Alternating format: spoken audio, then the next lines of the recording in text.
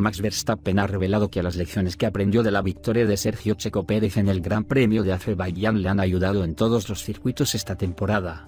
Verstappen ganó por decimoprimera vez en esta temporada durante el caótico Gran Premio de Países Bajos. Zandvoort es ahora la novena pista consecutiva en la que el joven de 25 años termina en lo más alto en este 2023, pero al comienzo de la temporada, Verstappen no se salió con la suya.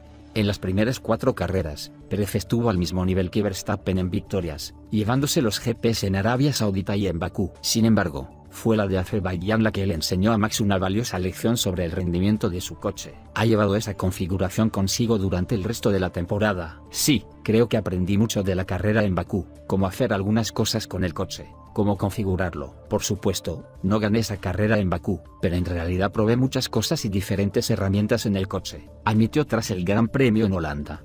La lección pasó mucho por el trabajo para mantener las gomas en la mejor condición posible, algo que ya he ejecutado. Es por eso que durante toda la carrera en la carrera fue un poco inconsistente, pero en un momento, agarré un buen ritmo con lo que encontré, pero luego dañé demasiado mis neumáticos. Pero fue como, ok, eso es bastante interesante para las próximas carreras, y básicamente lo implementé y me ha ayudado en cada pista, sentenció.